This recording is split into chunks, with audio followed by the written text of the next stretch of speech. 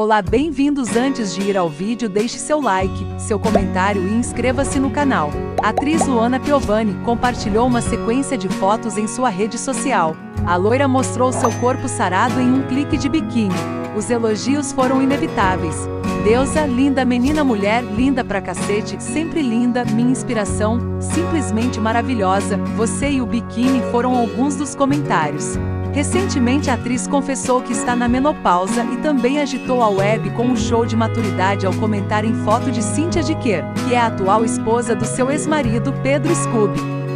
Em outro momento a beldade aparece usando uma peça beachwear, que foi tendência nos anos 50. Um biquíni cintura alta com estampas em verde, branco e preto. Recentemente a atriz confessou que está na menopausa e também agitou a web com um show de maturidade ao comentar em foto de Cíntia Dicker, que é a atual esposa do seu ex-marido Pedro Scooby.